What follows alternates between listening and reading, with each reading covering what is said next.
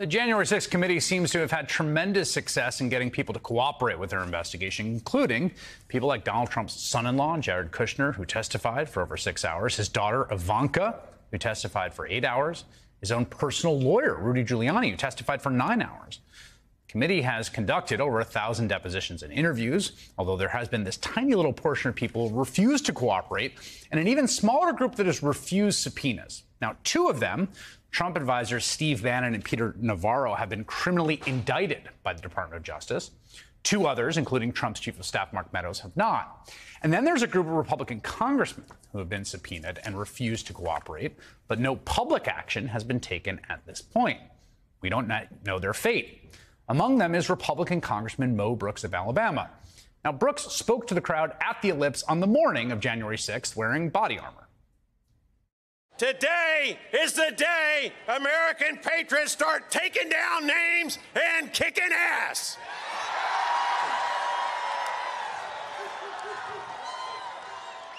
Now, our ancestors sacrificed their blood, their sweat, their tears, their fortunes, and sometimes their lives to give us, their descendants, an America that is the greatest nation in world history. So I have a question for you. Are you willing to do the same. Brooks was then and continues to be one of Donald Trump's most vocal, stalwart supporters in his quest to overturn the election, and he earned Trump's endorsement in his Senate primary. When his polling numbers started to plummet, Trump just loudly dumped him. Brooks is now trying very hard to get that endorsement back, promoting the Twitter hashtag reendorsemo. And Republican Congressman Mo Brooks of Alabama joins me now. Good to see you, Congressman. Um, how do you understand? Chris, it's always enjoyable to listen to the introduction. I'm glad, I'm glad, that you you enjoyed it. A lot of it was were your words. How do you understand this trajectory you've been on? Obviously, you are an enormously stalwart um, supporter of Donald Trump. You were there, uh, you know, trying to achieve his aims before January 6th and on that day. He endorsed you, and then he put out this statement where he said you went broke, that you've gone woke uh, and that he made a horrible mistake in that, that you made a horrible mistake, and he just said that he rescinded his his endorsement of you. How did that feel? Well, I was wondering if I might get a job with MSNBC. Y'all all know I'm woke, right? uh, I don't. I don't know if that's going to work. You seem a little caught betwixt and between. If the president seems you're woke, and I don't think there's much work for you here. But you have to convince Republican primary voters. What What do you think you could do to get back in his good graces? Well, what I try to do is I focus on public policy issues. That's what motivates me. Uh, that's why I encourage people to vote a certain way, one way or the other. Quite frankly, if you know, we're a republic. We have different mindsets, different views. If you're a liberal, you don't want to vote for Mo Brooks. And all the liberals in the state of Alabama get that. I'm sure I won't get very many liberal votes when it comes to the general election. What I want in the Republican primary, though, is for people to understand that there's only one conservative in that in this race, and that conservative is Congressman Mo Brooks. And arguably, there's only one Republican in this race, and that Republican is Congressman Mo Brooks. So Can that's just... what I'm trying to communicate to the citizens of the state of Alabama. I'm just going to throw out the script here in the interview and just ask you this: Why are you Why are you on my show? You you have a Republican primary to win. Uh, we don't have a lot of Republican primary Alabama votes. I don't think. If we do, I love you. I'm glad you're watching. Like, what what are you tr- what are you trying to do here? What do you what do you need to happen, Mo Brooks? Look, I don't avoid any particular shows that are live. Sometimes I'm a little bit hesitant about recorded ones because they cut and splice and take your words and take them out of context and all that kind of mm-hmm. stuff.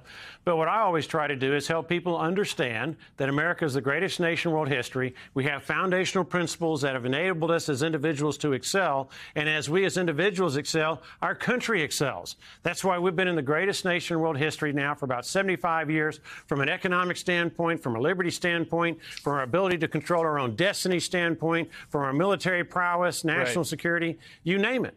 And so, there are certain things that have made us who we are. It wasn't by accident. And I just want to do the best I can to defend and promote those values. And to the extent I can persuade people that we are the greatest nation in world history, and this is why, that they'll come on board. So I want to ask you about your uh, your participation in the the sort of that period after the election up to January 6th. Obviously, you were there at the ellipse that day. Um, and and you you talked to the crowd. We we played that crowd. Did you when you saw the the footage, right? And I'm sure you've seen it of like the the police officer having the door squeezed on him, and the the the flagpole beating them, and them getting pulled into the crowd, and you know getting whooped, or you might even say kicked their asses kicked. Was there some part of you that felt some twinge of, oh no, I, I, did I have anything to do with that when I told people to go kick ass?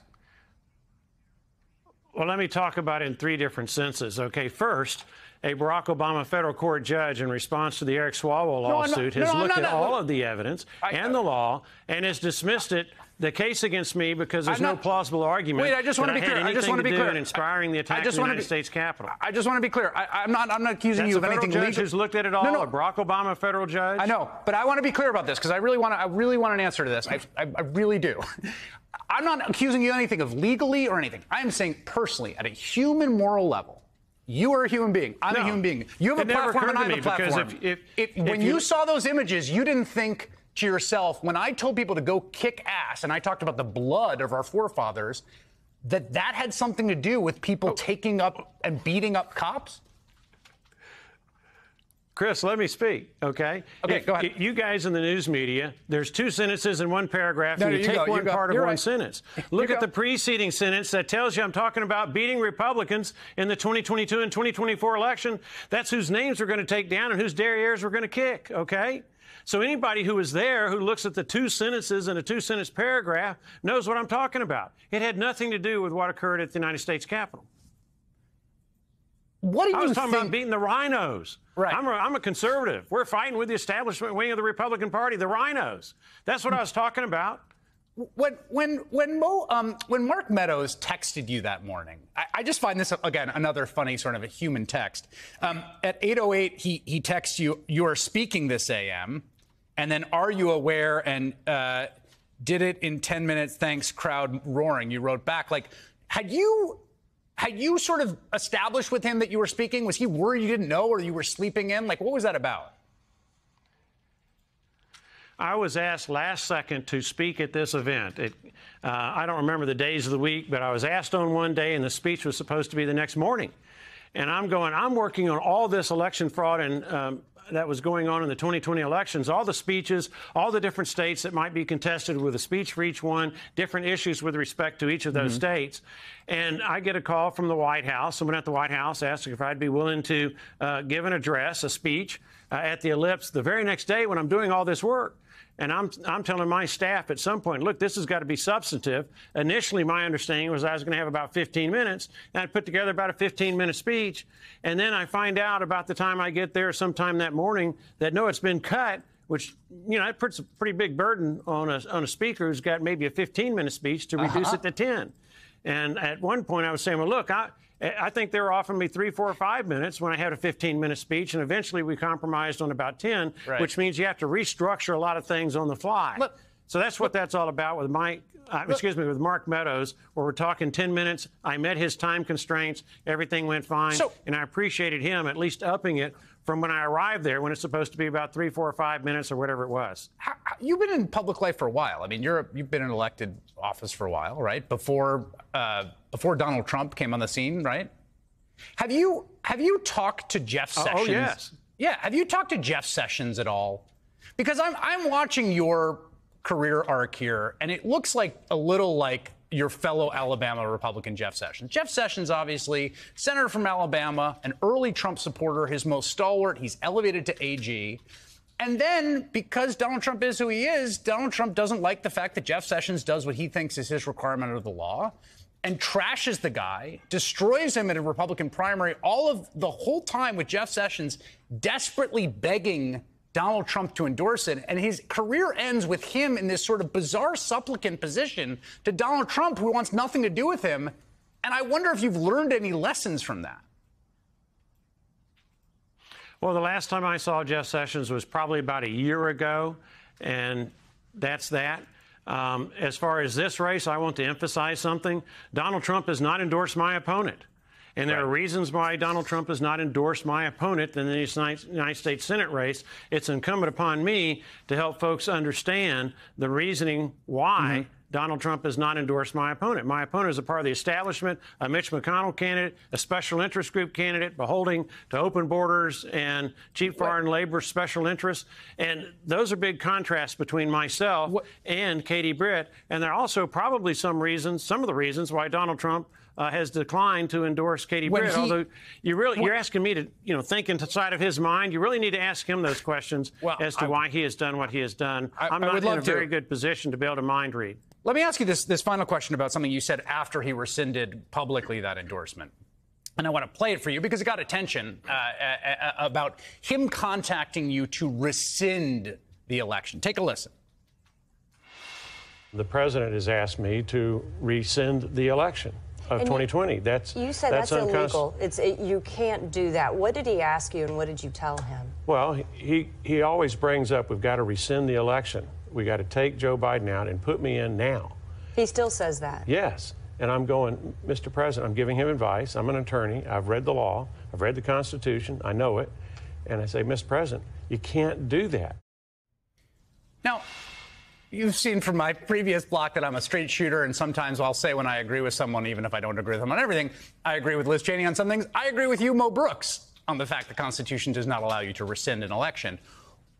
Do you are you worried that the the president is the former president is like not all there or, or mentally fit? Because that seems like a, a delusional thing to ask you. If I had been the victim of voter fraud and election theft activity, I would have wanted the same thing. Right. Whether you can do it is a different matter. That's for the law to decide. But I would have wanted the same thing. So I would have wanted to be reinstated. I would have wanted to thing. rescind the election. I'd have wanted to do everything. Right.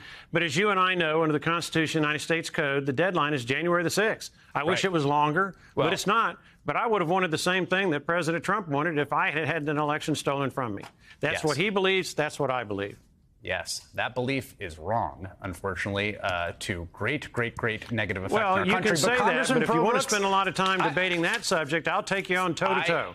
You name me, the time, you name the place. Give us enough time to discuss it. You go down your list of things. I'll go down my list of things. There are 150 congressmen and senators truly nothing who respectfully disagree with your viewpoint. Truly nothing in this world I want less. Thank you very much, Congressman Mo Brooks. I appreciate it. I can understand. An honest answer.